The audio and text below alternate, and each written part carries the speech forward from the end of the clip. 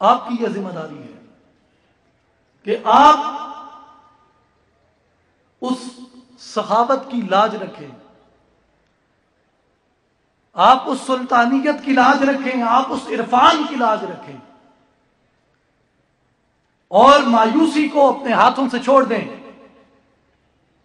ये दुनिया, ये कायनात, ये अल्लाह तबारक बताला ने, इसका जो राज है वो अपने तोहीद के इकरार और अपनी रिसालत के इकरार, अपनी तोहीद की तस्दीक और अपनी रिसालत की तस्दीक के अंदर रख दिया है।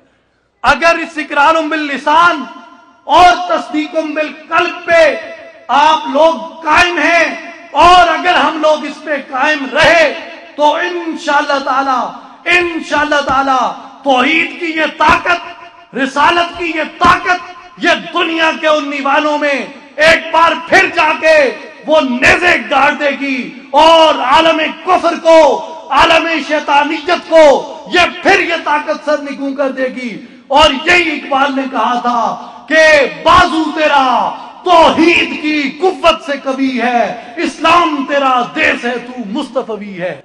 और आज जिसे अपने जिन मामला को हम मुसलमान आपस में बंदूक की नोक पे और खुदकुश जेटों से हल करना चाहते हैं। मैं आप तमाम मजहबी रहनुमाओं से ये अपील करता हूँ कि खुदारा, बंदूक को फेंकें, इन हथियारों को फेंकें। क्यों? कि हमारे माबेन जो बात है, वो बात निज़ाम की नहीं है, वो बात अकायद की है और अकायद की बातें कलम और ज़ुबान से हल होती हैं, तलवारों और तीरों से हल नहीं की, मुस्तफ़ा ने। अकायद की बात होगी तो बात कलम और ज़ुबान से होगी। हाँ अगर निज़ाम की बात है तो फिर हम लड़ेंगे। और रसूल अल्लाह ने अपनी ज़िंदगी में कभी भी मुसलमानों को आपस में नहीं लड़ने दिया। जब हम ये कहते हैं कि हमारा माखुज कुरान है, हमारा माखुज सुन्नत है तो फिर मुझे आप कुरान और सुन्नत पे बताएँ। कहाँ पे कुरान ने कहा कि भाई आपस में भी झगड़ लिया करो। रोहमा उबई नहुम रोहमा बैनहुम। आपस में रहीम हो जाओ। आपस में कुछ लोग नहीं मान रहे इस बात को। आपस में अभी भी कुछ नहीं माने। आपस में आपस में रहीम हो जाओ। हो हल्का यारा तो बरेशम की तरह नर्म। जब हको बातिल की बात आई तो फिर देख लेंगे कि हो रिज्म हके बातिल तो फौलाद है मोमिन। हो हल्का यारा तो बरेशम की तरह नर्म। रोहमाओ बैन आपस में रहीम हो जाओ। आपस में रहम अपनाओ। आपस में अखूबत अपनाओ। ये फिरकों की बुनियाद पे लड़ना।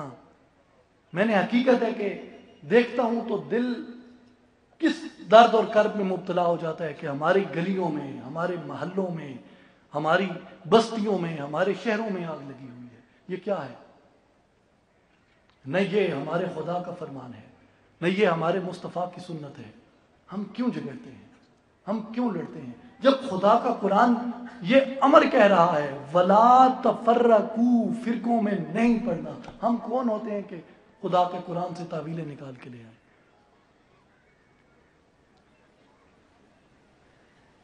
मुल्ला को जो है हिंद में सजदे की इजाज़त। नादा ये समझता है कि इस्लाम है आज़ाद। खुदा के हुक्म को देखो, खुदा के फरमान को देखो। और इस बात को अपने जहन में रखें। इस हकीकत को अपने जहन में रखें। मैं पूरी जमानत से, पूरी तहकीक तस्दीक और ज़िम्मेदारी से ये कह रहा हूँ कि जिसको तुम खिजा का मौसम समझ रहे हो, मेरे भाइयों, ये खिजा का मौसम नहीं है, ये बहार का मौसम है। ये खिजा नहीं है, ये बहार है। आपने देखा नहीं कि दुनिया में दुनिया में ये एक किस हकीकत के साथ किस हकानियत के साथ इस्लाम आज उभरा है? खुदा की कसम, कैसर और किसरा की यादें ताज़ा हो रही हैं इस सदी के अंदर। फारस अपने वक्त की ताकत था और निहत्ती फौज ने, मुसलमानों की निहत्ती फौज ने उसे टुकड़े टुकड़े कर दिया पाश पाश कर दिया, उसका गरूर खाक में मिला दिया। रूम, जो अपने वक्त की बहुत बड़ी सुपर ताकत था, उसे मुसलमानों ने टुकड़े टुकड़े कर दिया और उसका गरूर खाक में मिला दिया। दूर की बात नहीं है, इन्हीं तीस सालों के अंदर मुसलमानों ने किसरा का गरूर खाक में मिलाया है और अब कैसर का गरूर खाक में मिलने जा रहा है।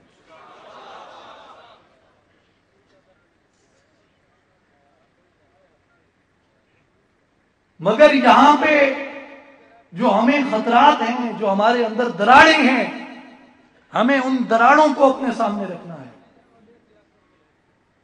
और मुझे बहुत ज़्यादा उम्मीद है, अपने उन नौजवान भाइयों से, उन अपने नौजवान मुसलमान भाइयों से, जो इस वक्त यूरोप के अंदर, मगरब के अंदर, अमेरिका में, जो वहाँ की यूनिवर्सिटियों में तालीम पा रहे हैं, वहाँ पे जो दिफाई ज़िंदगी बसर कर रहे हैं मैं अपने यहाँ मौजूद नौजवान भाइयों से बड़ी माजरत से कहूँगा कि मुझे मशरक के नौजवानों से ज़्यादा, मगरब के इस्लामी नौजवानों से ज़्यादा उम्मीद है।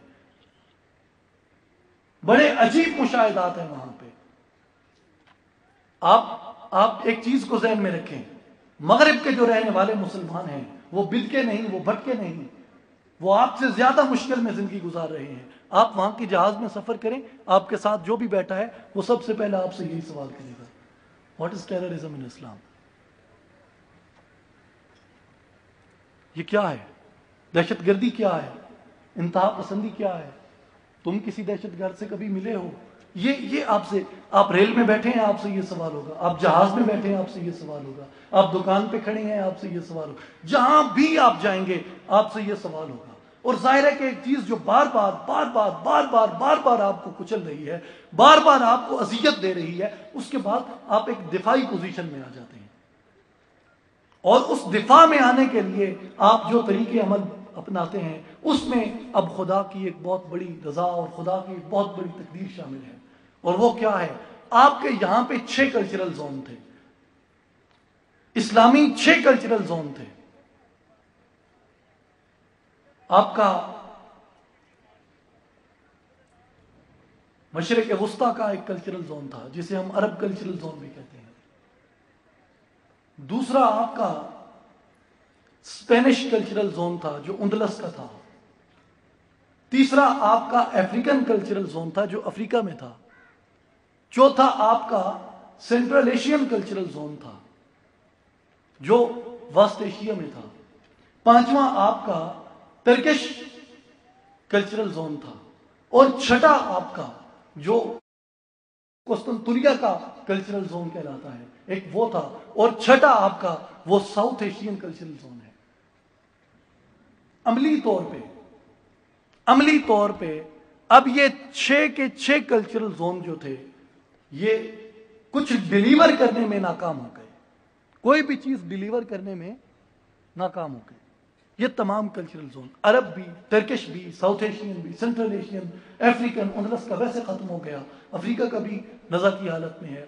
अब आपका एक सातवां कल्चरल जोन जो आपके मगरब की, यानी यूरोप और अमेरिका की यूनिवर्सिटियों में, जो रहने वाले हमारे नौजवान हैं, आप यकीन करें कि वहाँ पे मस्जिद में जब आप जाते हैं, एक बड़ा अजीब नज़ारा होता है। अब जो इमाम है वो इमामत करा रहा है वो तरीका आनाफ के मुताबिक नमाज़ पढ़ रहा है। उसने हाथ बांधे हुए हैं। आपकी दाएँ तरफ़ जो आदमी खड़ा हो, खड़ा होगा वो रफा यदैन कर रहा होगा और आपकी बाएँ तरफ़ जो आदमी खड़ा होगा वो फिकर जाफरिया के मुताबिक हाथ खोल के नमाज़ पढ़ रहा होगा। एक इमाम के पीछे वहीं पे इकट्ठे होकर नमाज़ पढ़ रहे